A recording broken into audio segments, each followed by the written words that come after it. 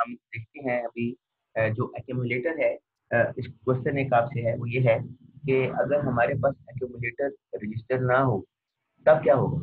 यानी अभी तो हम ये कह रहे थे कि हमारे पास ये इस तरह का एक सीपीयू का आर्किटेक्चर बना हुआ था, एक सर्किट बना हुआ था सीपीयू का, और उसके अंदर हमारे पास दो ऑपरेंड थे। ठीक है?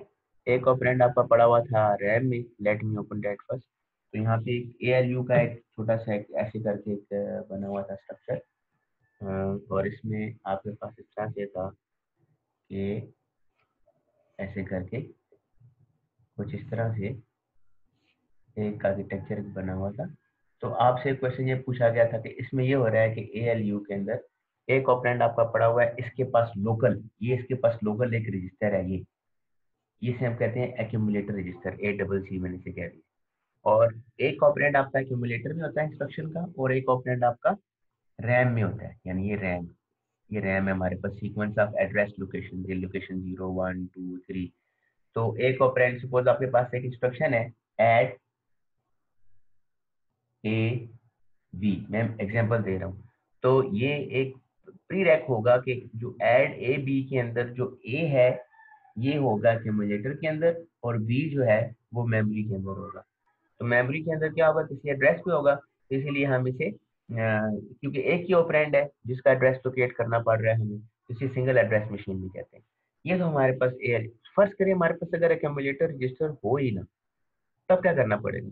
तब आपको दोनों ऑपरेंड मेमोरी में रखने पड़ेंगे। ठीक है? तो दोनों ऑपरेंड मेमोरी में रखेंगे तो मेमोरी में स्वैप करना डेटा को और फिर लेके आना प्रोसेसर के लिए तो वो फिर अगेन वो डिफरेंट आर्किटेक्चर बन जाएगा। जबकि एक्यूमुलेटर आर्किटेक्चर के अंदर क्या होता है? एक ही एक्यूमुलेटर रजिस्टर होता है जो यूज़ हो रहा। है अब हम इस आर्किटेक्चर की छोटी सी इंस्ट्रक्शन में आपके सामने एग्जीक्यूट करूँगा। वैसे आप देखिएगा उसमें क्या है? एक इंस्ट्रक्शन है वो कुछ इस तरह से है कि A direct B minus A plus C direct B ये एक इंस्ट्रक्शन है जो आप लोगों ने एग्जीक्यूट करनी है by using stack sorry accumulator architecture तो ये जितने भी मेरे पास, ये सारा जो एक्सप्रेशन है, ये मेरे पास कहाँ पे होगा? मेमोरी में होगा ना? रैम में होगा। तो आप क्या करेंगे? मैं इसकी एक छोटी सी मेमोरी बना लेता हूँ कि मेमोरी के अंदर ये सारे के सारे हमारे पास ऑपरेंट वैल्यूज़ पड़ी होंगी। यानी आपके पास मेमोरी में ये सारे पड़े होंगे। मैं एग्ज़ाम्पल दे रहा हूँ, ठीक है? यहाँ पे मैं ऐसे करता हूँ तो ए, बी और सी, तीन मेरे पास ऑपरेंट है। मैं फ़र्ज़ करता हूँ, ये ए है, ये बी है, ये सी है ए की वैल्यू पड़ी है टेन बी की ट्वेंटी सी की थर्टी अब ये पॉसिबल नहीं है कि आपकी मेमोरी में ऐसे डेटा पड़ा होता है। ये एनोलॉजी मैं यहाँ पे रख रहा हूँ ताकि आपको समझाने के लिए। मेमोरी तो सीक्वेंस ऑफ़ एड्रेस लोकेशन है। तो यहाँ पे ए का जो एड्रेस है हमारे पास ज़ीरो है बी का एड्रेस वन है सी का एड्रेस टू है। ठीक हो गया? अब यहाँ पे हम इसे एग्जीक्यूट करेंगे बाय यूजिंग एक्यूमुलेटर आर्किटेक्चर तो एक्यूमुलेटर आर्किटेक्चर में क्या होता है सबसे पहले? आप ये देखें इस इंस्ट्रक्शन के अंदर सबसे ज़्यादा हाईएस्ट प्रायोरिटी किसकी होगी? जो ब्रैकेट में एक्सप्रेशन है, उसकी सबसे ज़्यादा हाईएस्ट प्रायोरिटी होती है। इस ब्रैकेट के अंदर आपके पास क्या क्या दो एक्सप्रेशन हैं ऑपरेटर्स हैं, जिनकी प्रायोरिटी हाई है? वो हमारे पास स्टैरिक वाला है। Asterisk has higher priority as compare to plus operator तो फिर आपने क्या करना है इसे एक्यूमुलेटर में कैसे एग्जीक्यूट होगा? यानी किस तरह से एक्यूमुलेटर के अंदर आप एज अ प्रोग्रामर कैसे एग्जीक्यूट करेंगे? तो आपने सबसे पहला ऑपरेशन क्या परफॉर्म करना? मल्टीप्लाई वाला। सी और बी को मल्टीप्लाई करना। तो सबसे पहले आप एक इंस्ट्रक्शन लिखेंगे लोड बी तो लोड बी क्या करेगा? लोड बी ये करेगा कि इस बी की, ये लोड वाली इंस्ट्रक्शन क्या करती है? इस बी वेरिएबल को इस एड्रेस से लेगा, इस एड्रेस से उठाएगा और इसे लोड कर देगा एक्यूमुलेटर के अंदर। जो अभी मैंने एक्यूमुलेटर बताया था ना, ऐसे करके सीपीयू का एक आर्किटेक्चर मैंने ऐसे करके बनाया था, ऐसे करके ए एल यू बना के आपको दिखाया था ऐसे करके ए एल यू और इसके साथ मैंने एक एक्यूमुलेटर रजिस्टर ऐसे बनाया है ए डबल सी तो ये स्टेटमेंट क्या करती है? इस एक्यूमुलेटर में जाके उस डेटा को लोड कर देगा तो लोड वी का मतलब है कि इस बी ऑपरेंड को इस एक्यूमुलेटर में लोड कर दो। तो जब ये लोड करेगा तो एक्यूमुलेटर में क्या चला जाएगा? ट्वेंटी लोड बी अब अगला काम क्या है? मल्टीप्लाई करना है। किससे मल्टीप्लाई करना है? सी से। सी हमारा मेमोरी में पड़ा हुआ है। अब देखें, एक ऑपरेंड आपने ऑलरेडी लोड कर लिया रजिस्टर में, दूसरा ऑपरेंड मेमोरी में। यहाँ पे आप लिखिए मल्टीप्लाई सी तो मल्टीप्लाई सी का मतलब ये होता है कि इस सी जो वेरिएबल है, इसको मेमोरी में से उठाओ मेमोरी में से रेफर करो पिक करो और उसे मल्टीप्लाई कर दो एक्यूमुलेटर से। तो ये क्या होगा कि एक्यूमुलेटर में पड़ा हुआ है ट्वेंटी तो क्या होगा? अभी एक्यूमुलेटर में ट्वेंटी पड़ा हुआ था ना तो जब आप लिखेंगे ना मल्टीप्लाई सी तो एक्यूमुलेटर में क्या चला जाएगा? ट्वेंटी इंटू सी में क्या है? थर्टी थर्टी तो ट्वेंटी इंटू थर्टी कितना होता है? ट्वेंटी इंटू थर्टी आप मल्टीप्लाई करें यहाँ पे, क्या हो जाएगा? Zero six hundred. तो ये बन जाएगा सिक्स हंड्रेड, यहाँ पे आ जाएगा सिक्स हंड्रेड। यानी पिछली वैल्यू ओवरराइड कर देगा। अब यहाँ पे थोड़ा सा गौर करें कि आपने ऐसा नहीं है कि एक्यूमुलेटर में लोड होने का मतलब ये नहीं है कि ऑटोमेटिकली आपके वेरिएबल एक्यूमुलेटर में चले जाते ऐसा नहीं होता। एक्यूमुलेटर में आपको पहले लोड करना पड़ता है बाय यूजिंग इंस्ट्रक्शन लेकिन क्योंकि कैमुलेटर एक ही ऑपरेंड को अलाउ करता है लोड करने के लिए, दो ऑपरेंड अलाउ नहीं करता तो दूसरा ऑपरेंड आपका मेमोरी में होगा। ठीक है? पहले आपने लोड किया बी ऑपरेंड को एक्यूमुलेटर के अंदर, फिर जैसे ही आप मल्टीप्लाई सी करेंगे तो ये क्या करेगा? सी जो ऑपरेंड मेमोरी में है, उसे पिक करेगा और एक्यूमुलेटर से मल्टीप्लाई करके एक्यूमुलेटर से मल्टीप्लाई करके उसी में रीराइट कर देगा। यानी दोबारा हमारे पास एक्यूमुलेटर में वैल्यू चली जाएगी सिक्स हंड्रेड ठीक हो गया? उसके बाद क्या करना है आपने? इसमें आपने ये ये प्लस वाला ऑपरेटर आ जाता है ये वाला, जो आपने ऐड करना है। फिर आप लिखेंगे ऐड ए अब ए क्या करेगा? एक ऑपरेंट देखें ऑलरेडी आपके पास एक्यूमुलेटर में 600 पड़ा हुआ है। एक ऑपरेंट ऑलरेडी एक्यूमुलेटर के अंदर पड़ा हुआ है, वो है 600 उसमें लिख रहे हैं ऐड ए तो ऐड ए का मतलब ये है कि इस एड्रेस ए की बजाओ और इसमें से जो वैल्यू है, उसे एक्यूमुलेटर में ऐड कर। तो ऐड करें। तो एक्यूमुलेटर में आप क्या बन जाएगा? जैसे आप इसमें ऐड करेंगे 610 यानी रीराइट हो जाएगा। मैं इसको रीराइट कर देता हूँ। एक्यूमुलेटर में वैल्यू दीजिएगी 610 रीराइट हो गई। अब क्या होगा? ये वाला एक्सप्रेशन आपका सारा सॉल्व हो गया। अब इधर आ जाएँगे इसमें जो मल्टीप्लाई वाला है, इसकी प्रायोरिटी ज़्यादा है। अब आपने क्या करना है? अब आपको पता है कि ये जो वैल्यू आपने सिक्स टेन रखी है, अब आपने ये वैल्यू अगर आप, चले मैं आपको बताता हूँ इसको करके। अब आप लिखिए अब आप क्या करेंगे? दोबारा ए और बी को मल्टीप्लाई करेंगे, जो हमारे पास इस साइड पे है लेफ़्ट साइड तो आप लिखेंगे लोड ए जैसे आप लिखेंगे लोड ए तो क्या करेगा?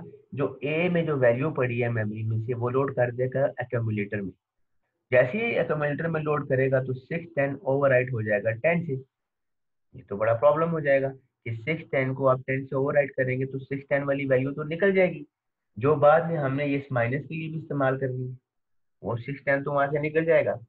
तो इसका मतलब ये हुआ कि before before loading the value in accumulator register you need to store the previous value of accumulator in memory ठीक है? तो यहाँ पे आपने स्टोर भी करना है एक्यूमुलेटर को। जो हमारे पास 610 बना हुआ था, उसे आपने कहीं स्टोर करना है। तो यहाँ पे आप लिखिए स्टोर डी जैसे स्टोर डी की इंस्ट्रक्शन एग्जीक्यूट होगी तो मेमोरी में जाके जो डी एक वेरिएबल है, वहाँ पे जाके 610 को ये स्टोर कर देगा ठीक है? यहाँ से वैल्यू कॉपी होगी और सिक्स टेन मेमोरी में जाके स्टोर हो जाएगी। अब क्या होगा? अब आप लिखें लोड ए फिर आप लोड करेंगे ए को। जैसे ही लोड ए लिखेंगे ए पड़ा हुआ टेन तो टेन को लोड कर देगा एक्यूमुलेटर में। ओवर कर देगा।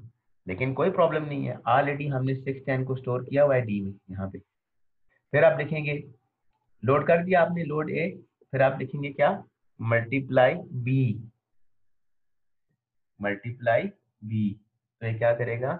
जो अकोमोडेटर में वैल्यू पड़ी हुई है बी में जाएगा बी हमारे पास ये वाला एड्रेस में लोकेशन पे बी ट्वेंटी पड़ा हुआ है ट्वेंटी को टेन से मल्टीप्लाई कर देगा। तो ट्वेंटी को टेन से मल्टीप्लाई करेंगे तो क्या आ जाएगा? ट्वेंटी इंटू टेन यानी टू हंड्रेड बन जाएगा। तो ये बन जाएगा टू हंड्रेड तो एक्यूमुलेटर में क्या रख देगा? यानी मल्टीप्लाई बी जब करेंगे तो बी क्या करेगा? कि बी वाली जो चीज़ है वो इस एक्यूमुलेटर में जो चीज़ पड़ी हुई है, उससे मल्टी वैल्यू जो पड़ी हुई है, उससे मल्टीप्लाई हो जाएगी। तो बी में ट्वेंटी है और एक्यूमुलेटर में टेन है। तो यहाँ पे एक्यूमुलेटर में टू हंड्रेड वो कर देगा। अब एक्यूमुलेटर में टू हंड्रेड पड़ा हुआ है, यानी ये वाला सारा सॉल्व किया हमने तो ये वैल्यू बन गई टू हंड्रेड ये वाला सारा सॉल्व किया तो ये बन गया सिक्स टेन और ये वाली वैल्यू हमने स्टोर की हुई है डी वेरिएबल में। और ये ऑलरेडी एक्यूमुलेटर में अब आपने क्या करना है? सब्ट्रैक्ट करना है। क्या सब्ट्रैक्ट करना है? आपने सब्ट्रैक्ट करना है डी में से। तो जैसे ही आप लिखेंगे ना सब्ट्रैक्ट डी मैं यहाँ से ये ए एल यू का जो शेप है, यहाँ से रब कर रहा हूँ जैसे आप लिखेंगे ना सब डी सब डी सब डी क्या करेगा कि जो डी लोकेशन पे वैल्यू पड़ी हुई है, उसको पिक करेगा, वो है सिक्स टेन उसको माइनस करेगा कैमुलेटर में से। एक्यूमुलेटर में पड़ा हुआ है टू हंड्रेड तो पीछे कितना बच जाएगा? फोर टेन तो फोर टेन एक्यूमुलेटर में राइट कर देगा तो एक्यूमुलेटर में जो लेटेस्ट जो वैल्यू होगी, वो पड़ी होगी फोर टेन। अगर आप इस सारे आर्किटेक्चर पे गौर करें, इस एग्जांपल को देखें गौर से तो इसमें हर एक स्टेप पे क्या हो रहा है? पहले वैल्यू आप लोड कर रहे हैं, फिर आप लिख रहे हैं लोड जब एक्यूमुलेटर में हो जाती है तो आपके जो इंस्ट्रक्शन है, उसके पास सिर्फ़ एक ऑपरेंड है। देखिए मल्टीप्लाई के पास एक ऑपरेंट है। ऐड के पास एक ऑपरेंड है स्टोर के पास एक ऑपरेंड है, जबकि दूसरा ऑपरेंड आपका ऑलरेडी आप लोड करके एक्यूमुलेटर में ले जाते हैं। ठीक हो गया? अगर कोई प्रॉब्लम हुआ तो मैं ऑनलाइन सेशन जब करूँगा तो आप वहाँ पे मुझसे इस बारे में क्वेश्चन पूछ लीजिएगा। इसका बेसिकली एडवांटेज क्या है? इसका एडवांटेज ये है, इसमें जो हार्डवेयर है, वो बहुत ही कम रिक्वायर होता है। बहुत कम हार्डवेयर से आप अपना काम कर लेते हैं और इसको बड़ा आसानी से आप डिज़ाइन भी कर सकते हैं और इसको अंडरस्टैंड भी कर सकते हैं। और इसका ड्रॉबैक क्या है? एक्यूमुलेटर जो है वो इतना ज़्यादा इस्तेमाल होता है कि बॉटल हो जाता है, ठीक है? और इसमें भी जो पैरालिज्म करने की जो एबिलिटी है कि multiple process at the same time run हो रहे हों, इसमें ये अपॉर्चुनिटी कम है। तो ये हमारे पास एक्यूमुलेटर आर्किटेक्चर का एग्ज़ाम्पल है। तो नेक्स्ट हम स्टार्ट करते हैं जो हमारे पास है। General purpose register architecture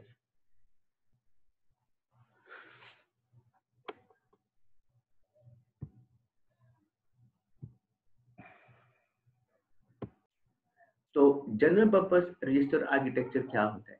general purpose register architecture ये होता है कि अभी मैंने आपसे डिस्कस किया था एक्यूमुलेटर रजिस्टर तो एक्यूमुलेटर रजिस्टर क्या कर रहा है? एक वैल्यू को आप उसमें एक्यूमुलेट कर सकते हैं। यानी आप अगर गौर करें तो आप एज अ प्रोग्रामर लिखते हैं लोड बी तो बी जो वैल्यू है मेमोरी में से लोड हो जाती है एक्यूमुलेटर के अंदर।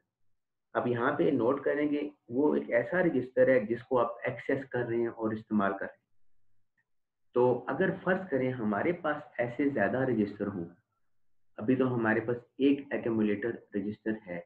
अगर हमारे पास ज़्यादा ऐसे रजिस्टर हों कि जिनके अंदर आप अपनी वैल्यू को स्टोर कर सकें उनको, उन रजिस्टर्स को आप ओपन कर सकें, उनमें वैल्यू स्टोर कर सकें, उससे क्या एडवांटेज होगा? उससे ये एडवांटेज होगा कि आपके सिस्टम की जो परफॉर्मेंस है वो बूस्ट कर जाए जो आपका जो कंप्यूटर है, वो क्या करेगा? बहुत तेज आपको जो है वो इंस्ट्रक्शन एग्जीक्यूट करके देगा।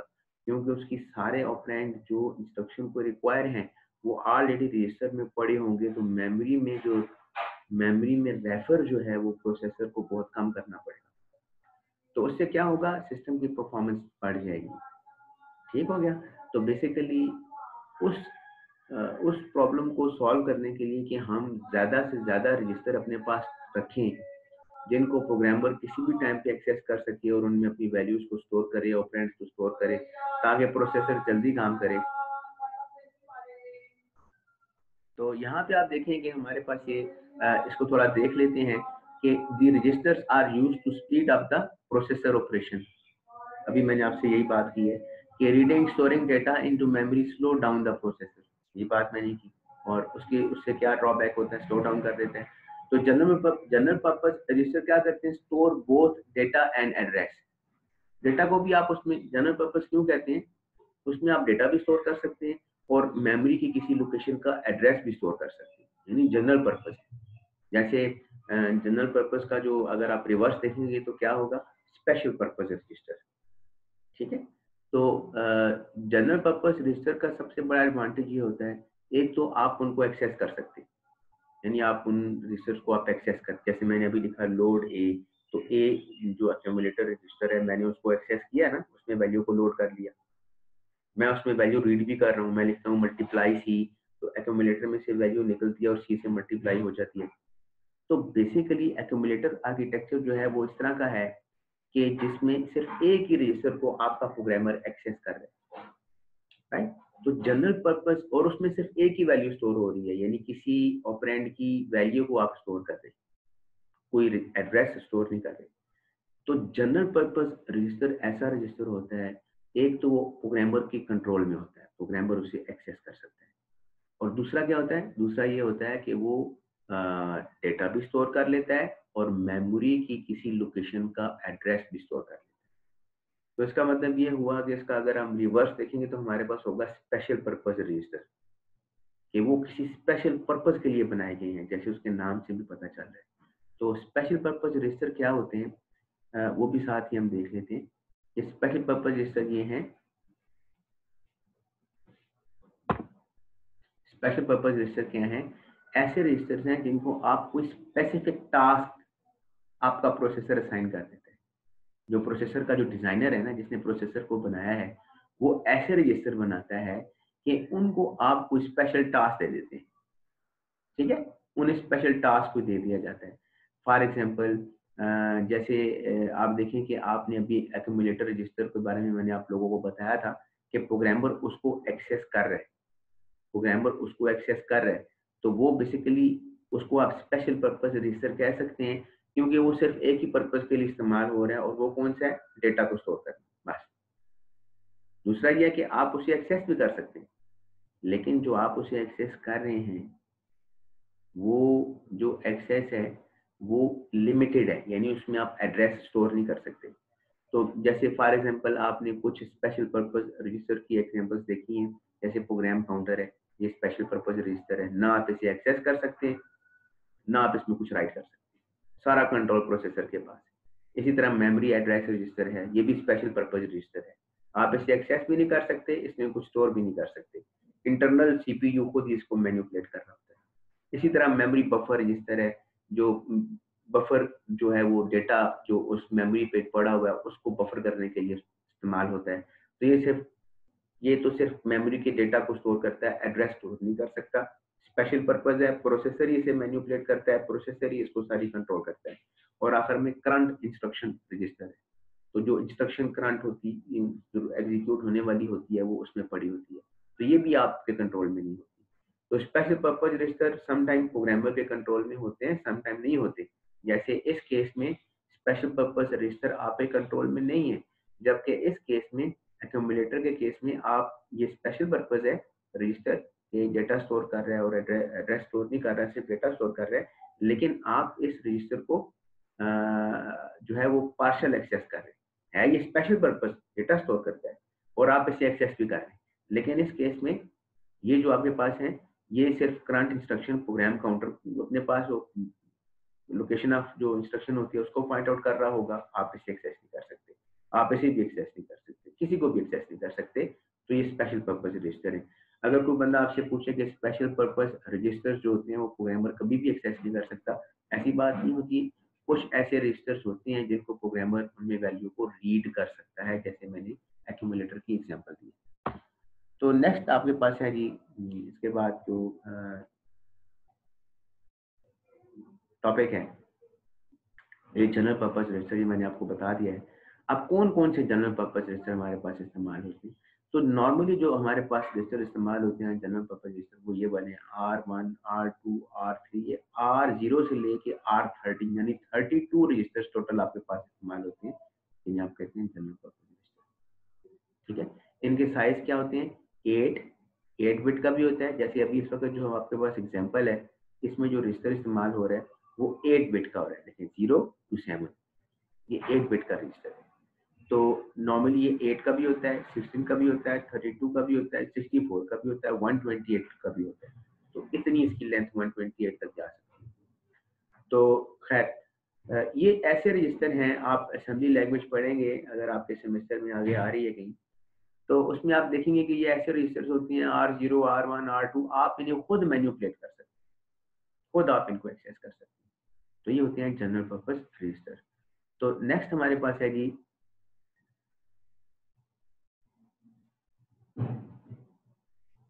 जनरल पर्पस रजिस्टर आर्किटेक्चर यानी ऐसी आपके पास सीपीयू के आर्किटेक्चर्स हैं जिनमें जनरल पर्पस रजिस्टर इस्तेमाल हुए हैं। आजकल जितने भी आपके पास पीसीज हैं उनमें जनरल पर्पस रजिस्टर का आर्किटेक्चर इस्तेमाल हुआ है। तो इसमें बेसिकली क्या होता है बात सारी ऑपरेंड की हो रही है। तो आ, तो हम देख रहे थे कि यहाँ पे हमारे पास तीन तरह के आर्किटेक्चर इस्तेमाल होते हैं जनरल पर्पज रजिस्टर में। एक हमारे पास है रजिस्टर टू मेमोरी आर्किटेक्चर एक है रजिस्टर टू रजिस्टर आर्किटेक्चर एक है मेमोरी टू मेमोरी आर्किटेक्चर तो पहला हम देखते हैं कि रजिस्टर टू रजिस्टर आर्किटेक्चर क्या होते हैं। रजिस्टर टू रजिस्टर आर्किटेक्चर वही है जो आपके पास एक्यूमुलेटर में आप लोग पढ़ चुके हैं। इसमें यह होता है कि एक ऑपरेंड आपका पड़ा होगा रजिस्टर में ठीक है? रजिस्टर में ऑपरेंड आपका पड़ा होगा, एक ऑपरेंड आपका मेमोरी में पड़ा होगा।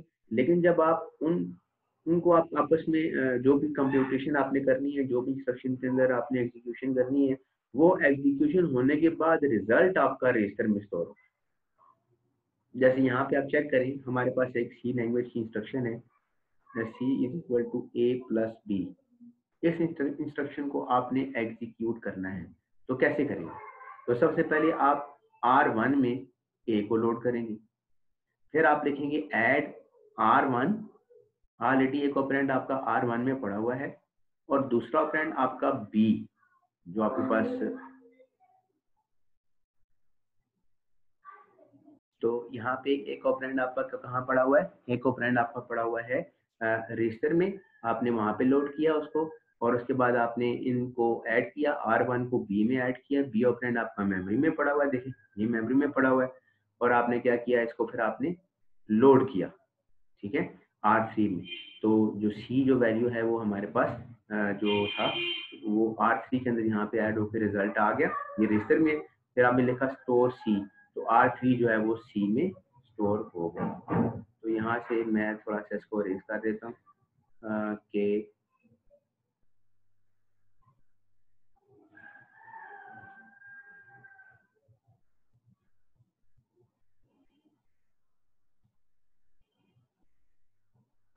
यहाँ पे आप देख लें।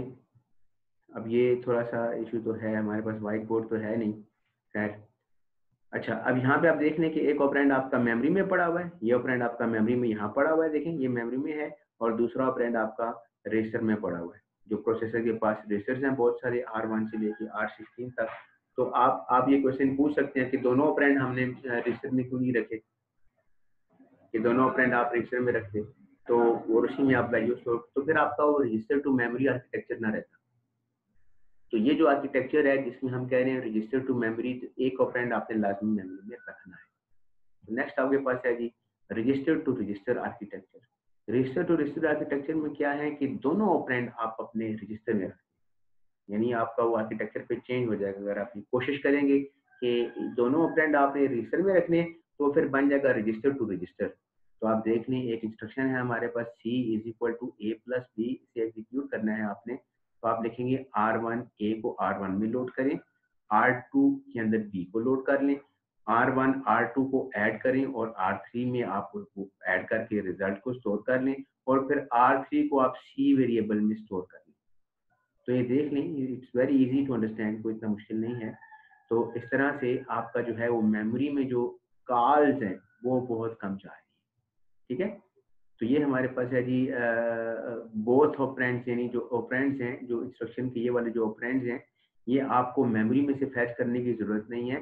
पहले आप उन्हें रजिस्टर्स में लोड करें। तो ये बेसिकली आपके पास होता है रजिस्टर टू रजिस्टर आर्किटेक्चर लेकिन अगर आप ये करें कि दोनों को आप मेमोरी में से ऑपरेंट्स को आप फैच करें ड्यूरिंग द एग्जीक्यूशन जैसे देखिए ना both the explicit operands are not access from the memory अगर दोनों के दोनों आप मेमोरी में से डायरेक्ट एक्सेस करेंगे तो वो बन जाएगा मेमोरी टू मेमोरी आर्किटेक्चर ठीक है? खैर, ये अपसलीट हो चुका है, इसलिए मैंने क्लास में से शामिल भी नहीं किया। तो मैंने दो आपको बताए हैं। एक आपके पास रजिस्टर टू मेमोरी आर्किटेक्चर है, एक रजिस्टर टू रजिस्टर आर्किटेक्चर है। तो मेरे ख्याल से ये आप लोगों को समझ आ गई होगी। आपकी असाइनमेंट है नोट कर लीजिएगा इस क्लास की। ये फ्राइडे की क्लास है। इसकी असाइनमेंट आपकी ये है कि आपने ये करना है कि जनरल पर्पज रजिस्टर और स्पेशल पर्पज रजिस्टर जो है, ये इनके बारे में आपने मुझे बताना है कि ये क्या होती है। अल्लाह